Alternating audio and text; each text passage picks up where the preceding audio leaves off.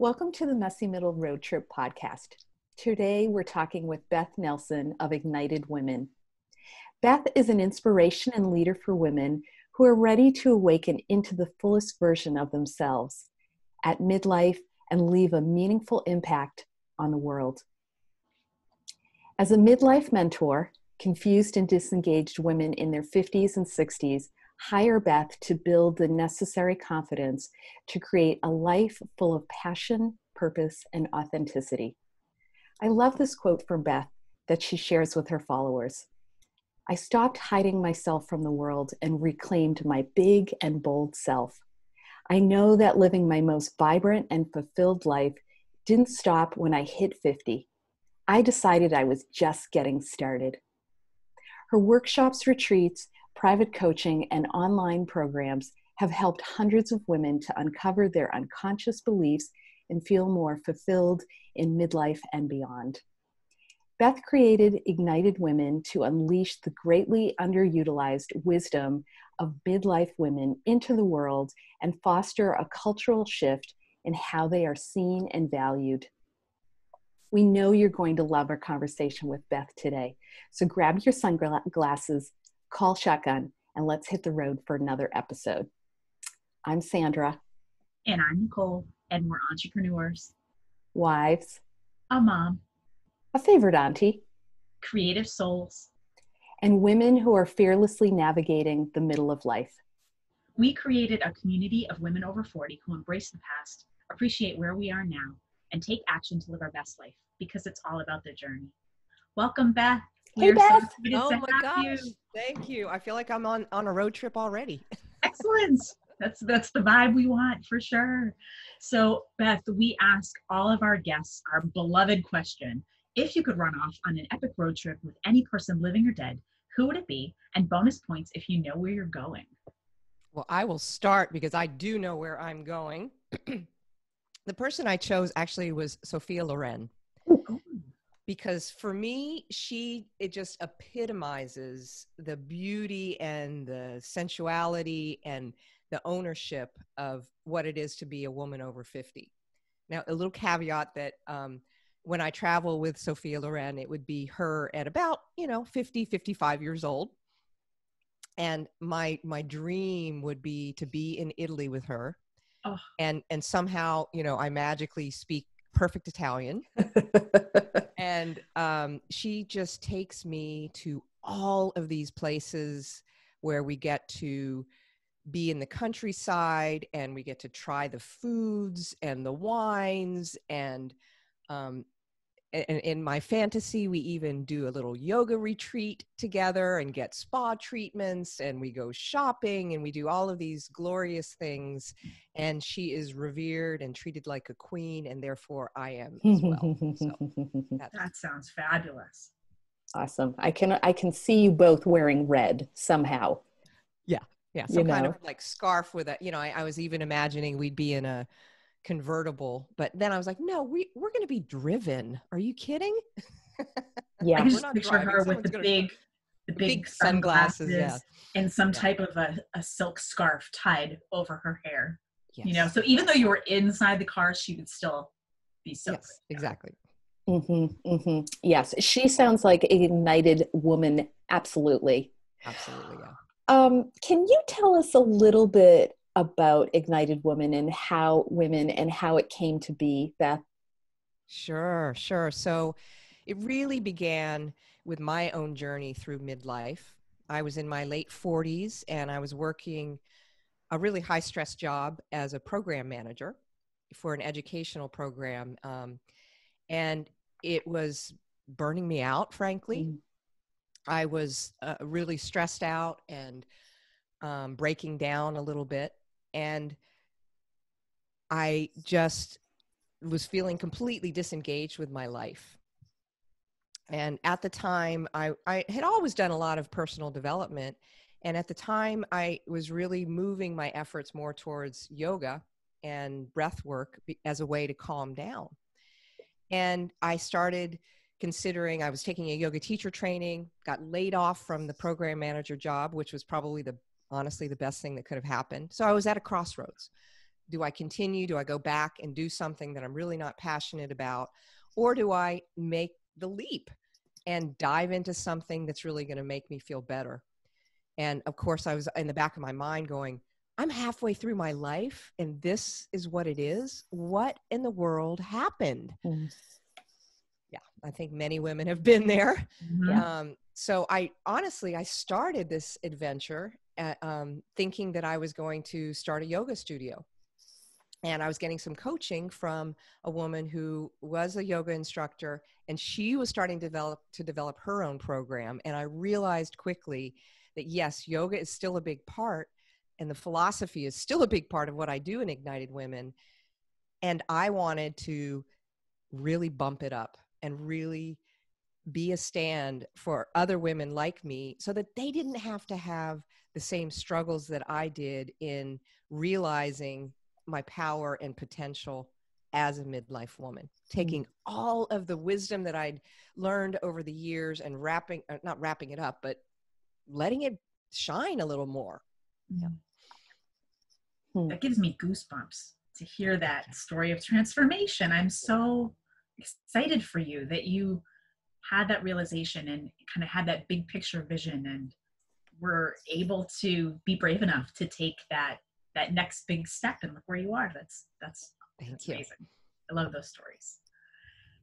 So Beth, can you share what motivated you to to really like dig in um you know with with getting this started like how did how did you get it off the ground can you talk to us about the process on that gosh when i look back you know i just had something show up on my facebook feed of um, from four years ago when I launched my first website, my first, you know, I've since updated it, but my first website. And I remember that moment. I had the website ready and I wouldn't hit the button to get it to go mm-hmm, live because I literally thought as soon as I hit the button, I was going to have thousands of women inundating me with, you know, their, their need to be coached. I, you know, so I think it was probably a good thing that I went into this so naively. Um, and I've always been a very passionate person. I was a, I was a, I was a midlife, or not middle of the, well, mid mid thirties. I really became an athlete, and I think that gave me the tenacity, and you know, the taking one step at a time mentality that helped me to build this program. And I've also been someone who's always driven by service. I want to be of service in the mm. world. And when I noticed that I wasn't the only one that was suffering, other, you know, other, that there were plenty of other midlife women who were feeling disengaged and not knowing how to get themselves back into the game again. And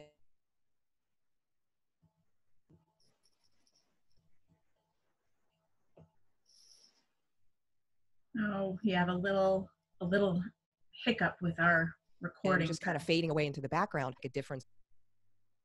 Beth, could you repeat that? We had a little bit of a hiccup on the recording. Yeah, yeah, and I, I'm plugged directly into my into my Wi-Fi. I mean, into my internet.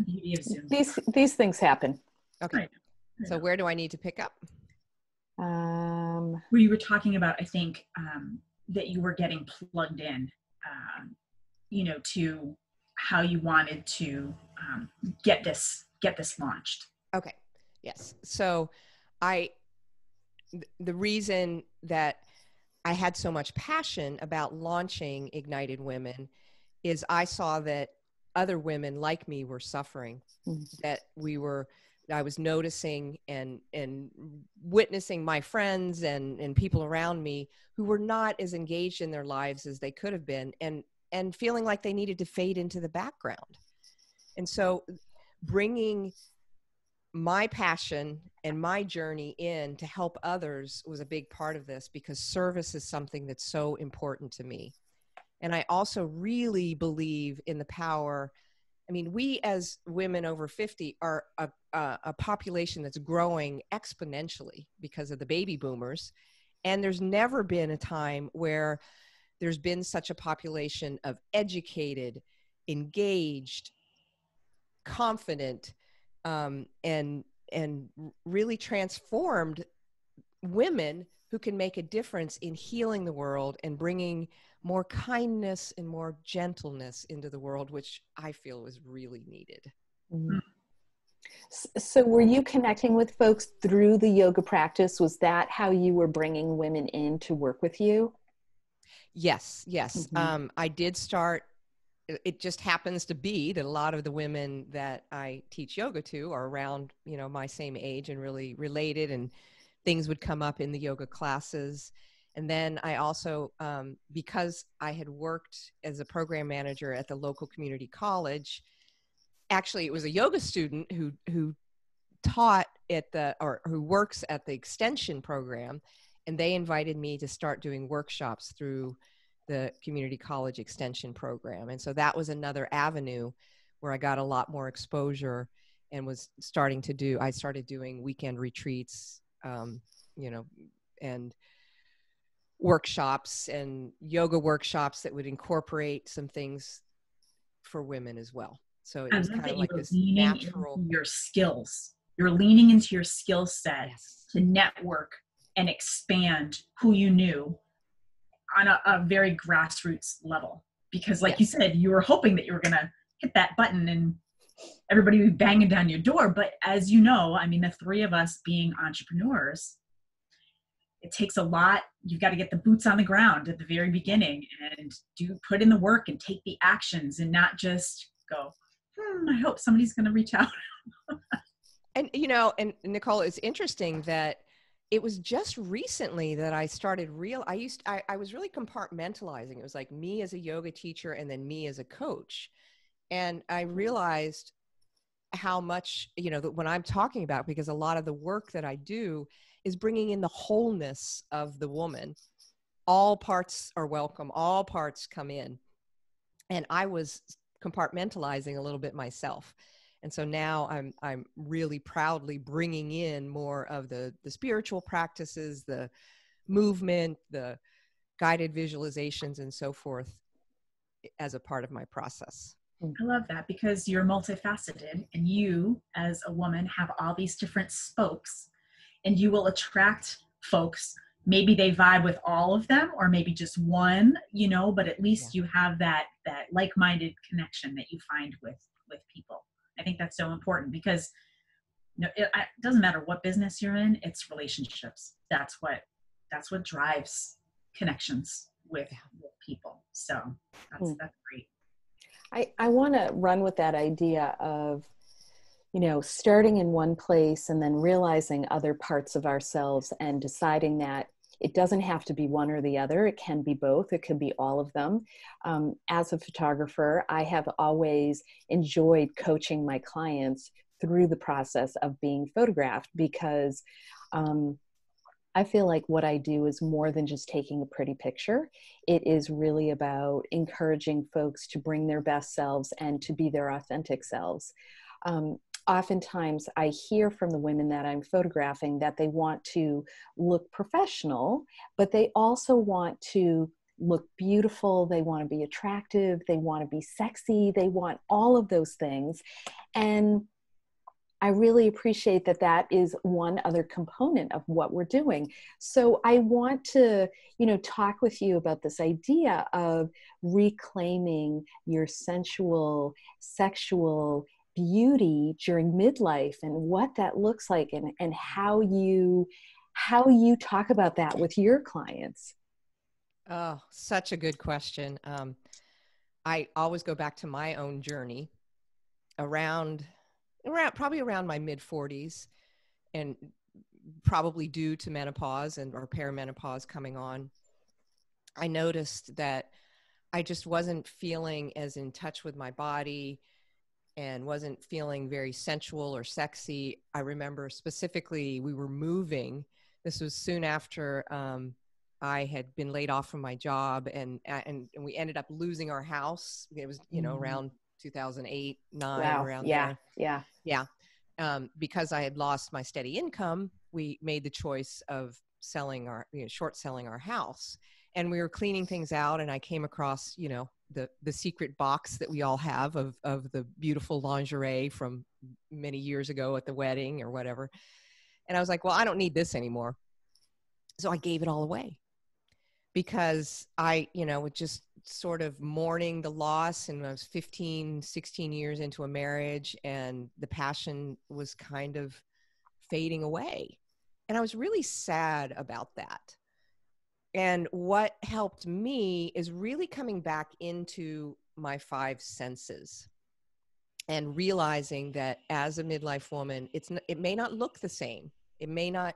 It may, you know, I need to manage my energy and my vitality in a different way, and by getting more in touch with looking at myself in the mirror naked and really owning those parts that uh, when I look and I go, ooh, and loving those parts anyway. I mean, it sounds like it, I'm not going to discount it. It is a very important part of, of coming back in and really fully owning your own body and understanding that sensuality and our ability to feel pleasure is a birthright.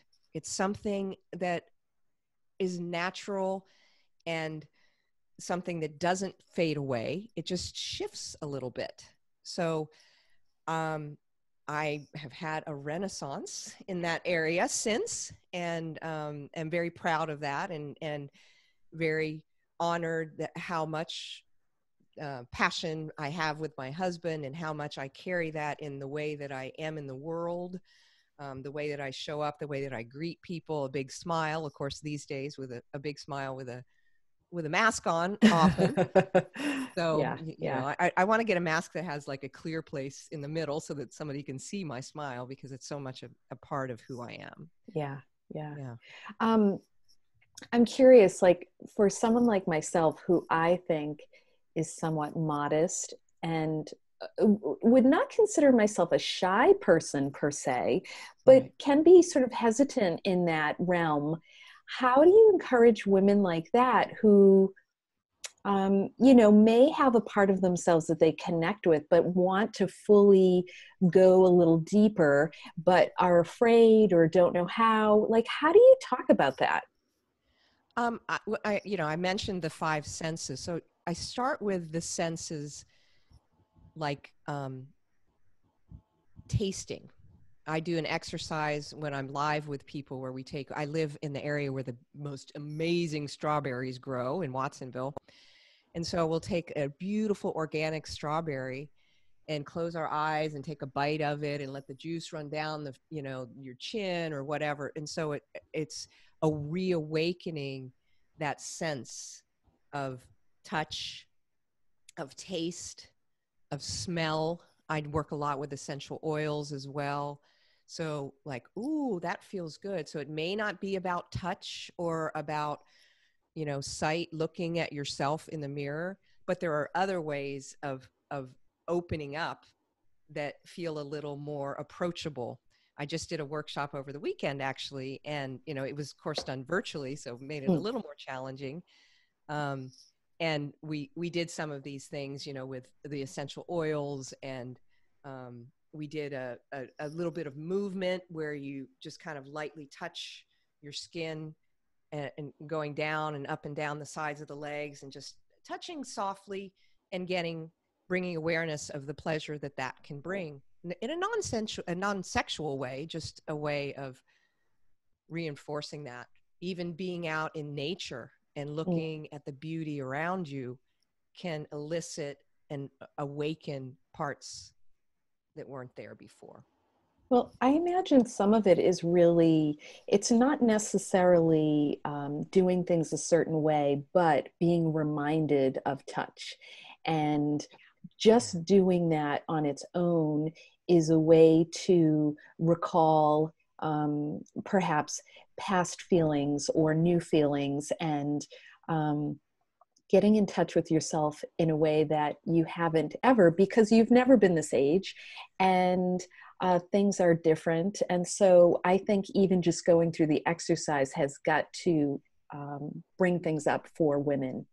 Yeah. Yeah. And then being there um, to give guidance. I mean, this is a big part of the work that I do is finding um, routines and rituals and and structures that keep shifting the thought pattern we all we all know that as life goes along we pick up bad habits we pick up bad mental habits about how we talk to ourselves mm.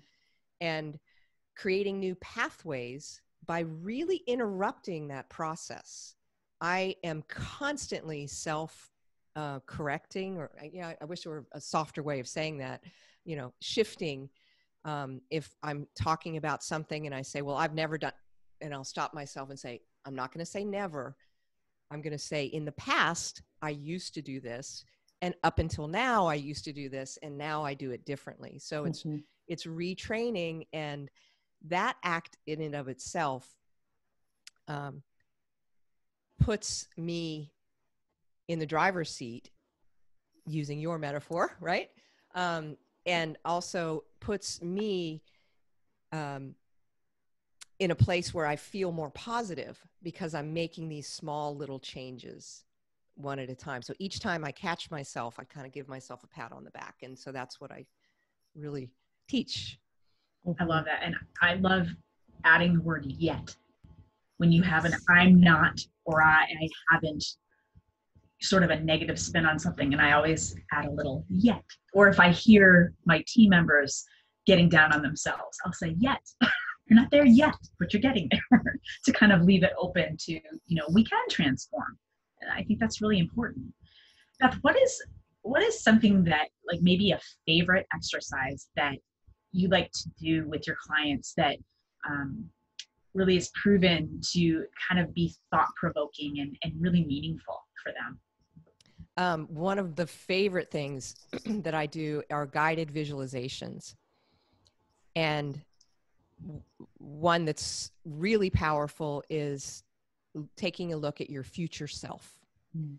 So I, I, give a lot of guidance first about what it is to go into a guided visualization because many women are like, well, I'm not seeing anything. What's wrong with me? You know, and and that can trip up the whole process. So gently guiding them into a place where they are visiting with their their self 10 15 years from now and what that version of themselves is saying to the current self and it is amazing the things that show up and it sometimes it's not during the visualization or even right after sometimes it can be a few days after that um, understanding just how much inner guidance is available. And I think awakening that, igniting that is the key to understanding and shifting how you choose to be in the world and what impact you choose to have in the mm. world. Mm. I had an experience last year where I was working with a coach, and we did this exercise where she had me floating above, like on a ribbon, and she wanted me to talk about what the next year would look like for me. And one of the things I talked about was how my business shifted and what that looked like and who came to work with me. And it was really, really clear at the time. I had never done an exercise like that before. And I have found myself this fall doing the things that I talked about with her. And it has been really, really wild to watch those visualizations come into reality. And and I think even at the time when I had never done an exercise like that before, I was excited about the possibility because I really opened my mind to what could be coming next. Yes. And um, so I imagine that's some of what your women are experiencing. Yes, exactly. And and so you know, as soon as we finish with the visualization, there's writing exercises so they can go back and look and say, "Oh my gosh, that did come true." It may not look exactly the same as it shows up in the visualization, and yet it's opening up to the possibilities. Um, one of the coaches that I've worked with often uses the analogy of like an acorn, that an acorn has all of the wisdom within it to become a beautiful oak tree. Of course, the conditions need to be right. The acorn needs to get planted, it needs to have enough water and nutrients to grow into a sprout. And then the sprout grows into a little sapling. And each evolution is is different and then it, it but it has it already has everything that it needs within it Mm-hmm. without being uh, without asking anything of it and what we need to remember is that we do as well Mhm. we have all that we need within us and tapping into that can be such a great source of power Yeah. That needs to be made into a t-shirt. yeah An acorn. You know, grow deep roots and and step into your power. yeah yeah I, I, I have not found a better analogy yet i you know i, I mm-hmm. try to bring one that's kind of related to fire because that's sort of you know the theme of ignited women and um, nicole you mentioned earlier you know like the different facets of a woman and uh, you can see behind me the the logo and the logo is meant to look kind of like a fire but also like a diamond Mm, so it's bringing out all the sides Love it. that's great. Um, I'm going to change directions a little bit. Um, one of the things that you talked about is um, changing physical realities for women in midlife. Yes And I just turned 50 in August, so I'm beginning to perhaps feel some of those things. Um, I'm wondering if you can talk a little bit about what those things are and how they affect women, particularly in their sensual lives. yeah of course you know i spoke briefly about it but um, menopause perimeni- mer- perimenopause is it's a long process and there's no guidebook to it. There are you know are certain certainly people have written a lot about it um, and the, just the hormonal shifts alone can shift how you feel about yourself as well as how you feel about your body. I know that it was a big transition for me not only in my sensual life but also um, when i realized i didn't have the endurance that i had any longer or you know my i look down and i'm like what happened? My you know the, my skin is kind of sagging a little bit. What what? Um, and it does. It happens quickly. Um, and that doesn't mean we are not beautiful and and and can shift into a, a place where we accept where we are. Um, there are many you know i don't really do a lot in in terms of coaching around health or or supplements but there are many things that i've done shifting my diet shifting um, the supplements that i take to really support me through the hormonal changes that are occurring um, and And have you have you found that to make make a difference, Beth? Yes, yes. Um, I mean, uh, you know, again, I'm not. What's worked for me um, is maca root. Taking maca root um, supplements, and there's also I really love the work that Christiane Northrup does around menopause. She wrote um, a book. What is it called? The Wisdom of Menopause, and she actually has supplements that I took for a while as well. That really quelled the night sweats and you know all of the hormonal fluctuations that happen. Um, so it, it's a really a personal journey. There are things that that uh, that can be of great help, and I think number one thing is making sure you're getting adequate rest and eliminating as much stress out of your body as you can because you know the cortisol I, cortisol is the stress hormone and with all the other fluctuations as we're going through menopause it can really wreak havoc on how you're feeling in so mm-hmm. many aspects of your life Well, and I can imagine that if you are feeling crummy in all that you just listed, your Yeah. libido is going to go. Yeah. It's gonna be the last thing on your mind because you just you're fatigued, you're feeling crabby, you're not loving the way that you're looking. Eh, you know, just because of everything that's going on with perimenopause. So I love how you've tapped into well, these are the things I need to focus on personally so that I feel my best self. I'm showing up as my best self and then having the potential to to unlock what kind of like the acorn like we Yeah. all have it inside of us and and I know you go through seasons, right? Like I'm I'm kind of coming towards the end of my my child rearing season in that I have a 13 and a 17 year old. Well, I'm going to blink and they're going to be off doing their thing and my husband and I are going to be looking at each other across the kitchen table and like really working to reconnect and going, oh,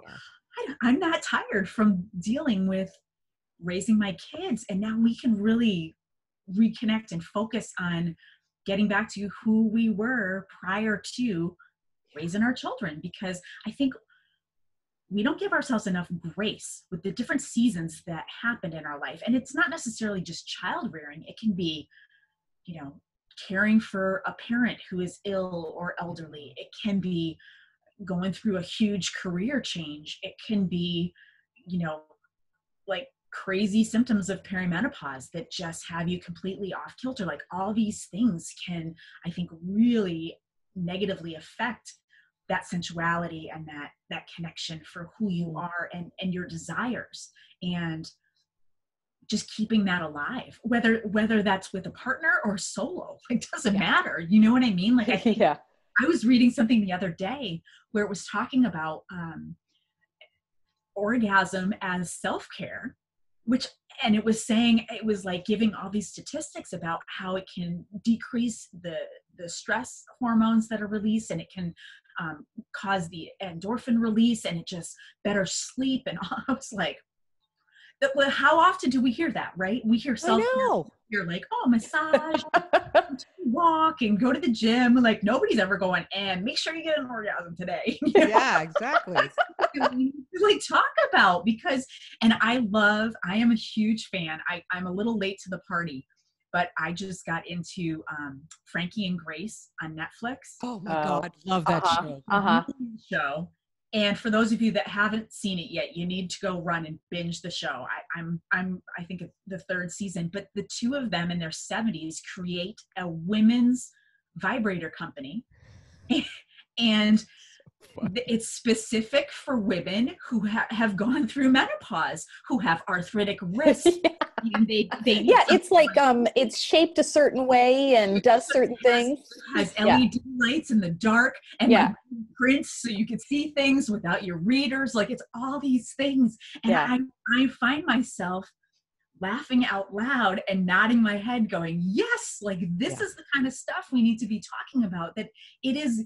It is okay for women over 40 to be digging into their sensuality and and really rediscovering who they are because it's very different today than it is when you're 18 20 and really kind of figuring out who you are in, in, in a sexuality sense right. right? Right. Yeah. And there's you know nitric mm. oxide is released and nitric oxide is one of those neurotransmitters that balances all the levels of your serotonin, your dopamine, and everything else. And that's released during orgasm. So there's yet another reason. There you go. We're promoting self self care with orgasms yeah, for the, yeah. the rest of the month of October. well, and and I think also when you get older, there are certain things that you care less about. So perhaps that means you can be a little less inhibited and just go for it because why not? I mean, you know, the time has come to just, um, if you haven't really gone into, you know, if you haven't really let yourself go in the past because you were worried about what your partner would think or what you were thinking about yourself. I don't know. I feel like now that I'm 50 i care less about what others think. Yes. And i'm i'm working on what i you know my own self judgment and um, i think that also connects with your um, with your sex life right? I agree. I really agree with that one. That um yeah the the more you can more we can move away from self-sacrifice and putting everyone else in front of us and come back to again that acorn thing come back to who we are on the inside which is a vibrant being who has a right to be happy a right to have joy a right to have pleasure and you know nicole i'm kind of backtracking a little bit but mentioning the reconnection with a partner that can be a you know kind of a a bumpy road if you've spent many many years only focused on raising your children. Um, so you know making that shift you, you got to allow the grace for that and got to have got to allow the time and the courage to say what and and, and understanding of what you really want Mhm. that is a is a key part of it is that i have a lot of women who come to me and they're like i really don't know what i want because they've gotten really disconnected from it from not putting themselves in the picture Mhm. Mhm, mhm. And and don't you think you know some of this is about feeling worthy of those feelings of desire and feeling sexy and and how you imagine yourself and even how you imagine your intimate life with your partner um you know i i think when when i was reading a little bit about you beth you talked about this idea of worthiness and Yeah. and and struggling with that which i think a lot of women struggle with and i wonder if you can talk about that aspect of it and how it um, connects specifically to you but also to your work and the work with the women um, that that come to ignited women Yes, great, great question. Um, the my worthiness showed up. Brene Brene Brown, I, I, something that I read that she did. She talks about how women or people hustle for their worthiness. That that was the primary focus of my life for a long time is proving that I was enough to be here on this earth. And shifting that mindset into believing that starting from the place that I'm enough, that I'm divine, simply for being here and really focusing on how I want to feel. So, a lot of the work that I do is based on the work of Danielle Laporte and the Desire Map. And that work is finding key words that, that really represent how I want to feel in my life, and then repeating those words, creating that new pathway, as I spoke of earlier, to really let them become the primary place a primary starting point and something that i can jump back to if i, I start to feel like oh i don't deserve this. I don't uh, uh, uh, you know it's like i'm divine. That's one of the word that's one of my words. Ignited is one of them that's how i named my program is from doing this process. Ignited divine bold and connected. So constant reminders, bringing it back, getting really figuring out what it is that I want or what it is a client wants, owning it, and finding a pathway to get there, one small step at a time. So, you know, we didn't we didn't come into this sense of unworthiness overnight.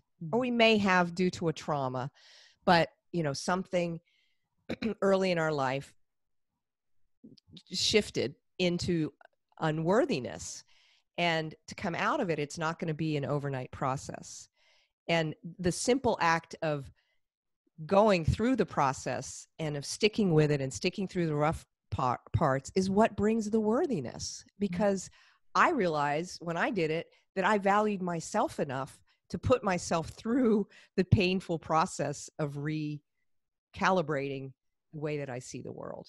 Mm-hmm. When you were saying those words, I, I love that concept of sort of creating the labels of the things that you want for yourself, that you want to step into, even if you're not there yet. And I would think that the if you did like a journaling process where you had those words at the header and every night at the end of your your day you list what did i do today that was bold? What did i do today that made me feel ignited what did i do? You know even if it's just one or two things that you're jotting down it doesn't have to be a laundry list of things but i can imagine over time when you look back at those you're like look at me stepping into this and it just would help to reaffirm yes i am on the right path and and even questioning if you're presented with an opportunity is this going to touch on one of my words? Mhm. exactly. Or do i need to walk away from this because it's really not going to serve who i want to be right yes so Yeah.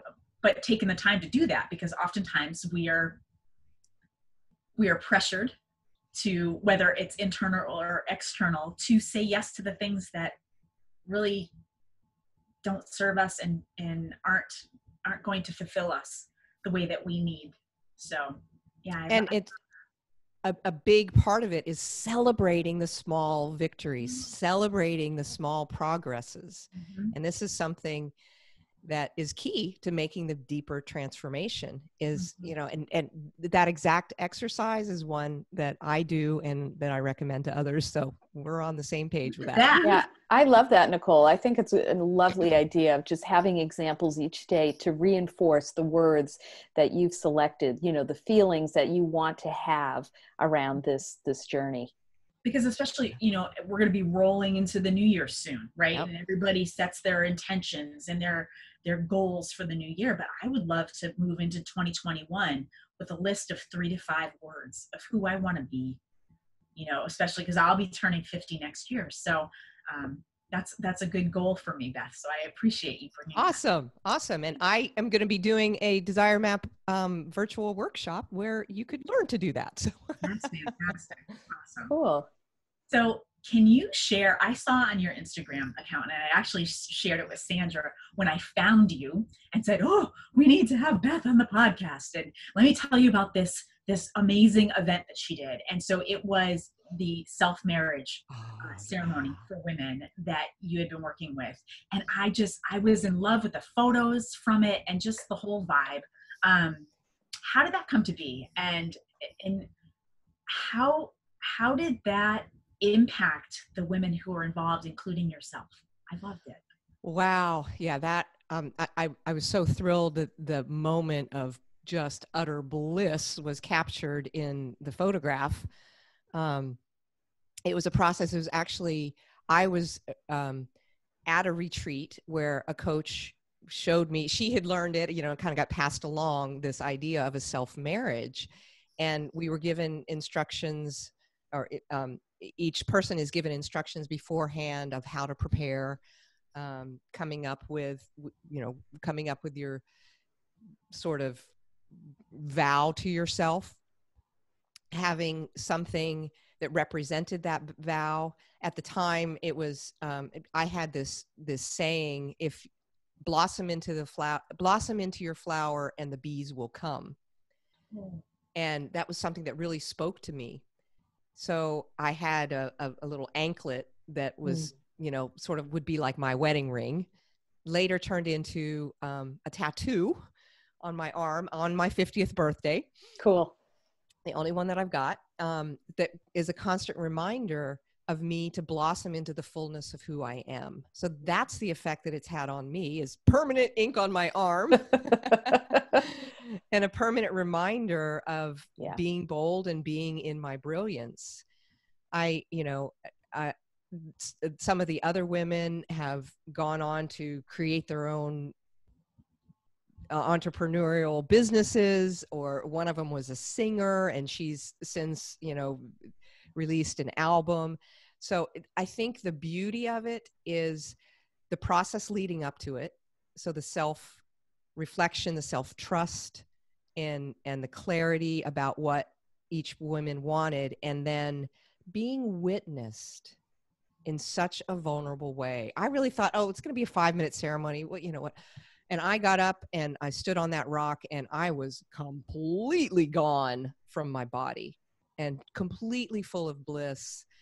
Um, and even talking about it now, I get goosebumps because it's well, so alive in me. Yeah from everybody that was there because they were all supporting you yeah. and really listening to what you were saying and vibing off that too. So that must have been a beautiful experience. And the, the setting looked beautiful. Yes, yes. I, and I I have a live retreat next summer. Really hoping we're going to be able to do that because I um, it's up in the redwoods here in California, and so mm-hmm. I want to. There's this beautiful. It's called the Enchanted Forest, and I want to take the women up there and do the ceremony there. That is so awesome. So awesome. I loved seeing the photographs too. Yeah, when Nicole shared that with me, I was like, ooh, that that is, you know, like who who doesn't want to make that kind of commitment to themselves yeah. Yeah. when when when you're ready to do that. Um, so I have one last question for you, which is what what do you think ultimately women like what are they seeking when they come to you and and are part of ignited women I think initially women come because they want to be seen and they want to be heard and understood and not feel so isolated and um, as if they're supposed to fade away. Mm. And I think what they get are tools, you know, a, an awakening. Because a lot of times, you know, I've been to workshops where it's like, yes, yes, this feels really good. And then I leave the workshop, and within a few days, it kind of fades away and it doesn't stick. So, um, because this is so much of a journey, my own journey, I really believe that women come to get the the support to create a new way of being, mm-hmm. coming back, returning, reclaiming who they are by breaking through all the resistance that's been built up. It's sort of like chipping away and finding a diamond underneath of it um, because it's all there within us. So the, the true belief that there's nothing outside of you that you need to be fully satisfied and fulfilled with your life that everything is within hmm. beautiful that is beautiful. That's a that's a lovely way to to sort of wrap things up mm. today. I love that. Beth can you share with our listeners uh, you know how can how can people reach out to you on social media? Where can they find information about your coaching and your retreats and your workshops? Sure. So i'm at ignited women on instagram. I have um, a page called Ignited Women with Beth Nelson on Facebook. And then my website is ignitedwomen.net, where you can get connected, learn about my upcoming offerings, learn a little bit more about me and my philosophy. And I've got several blog posts. Um, kind of took a little break from that. I'm, I want to get back into it now. So, but there's some really good things in there. And in Instagram, there's plenty of short videos um, just with some tips and ideas to keep you motivated and on track for living your most ignited life. Fantastic. Awesome. Thank you so much, Beth. It's been such a pleasure having you today. It's been really fun. I've so enjoyed I could, this. I could speak to you all day long. Like this conversation could have gone on for days because we are just we are vibing here today. So thanks so much for hopping in the uh, the convertible with us. Absolutely. Thank you. We hope you enjoyed this episode of the Messy Middle Road Trip podcast and not only learn new ways to connect with yourself, but are curious about how you can add more pleasure into your life. If you want to keep the conversation going, visit us on Facebook, Instagram, YouTube, or at messymiddleroadtrip.com. And if you like what we're doing, please consider subscribing to the podcast and leaving us a rating and review so we can reach more amazing middlers. We are looking forward to our next road trip with you. Until, until then, thanks for riding shotgun.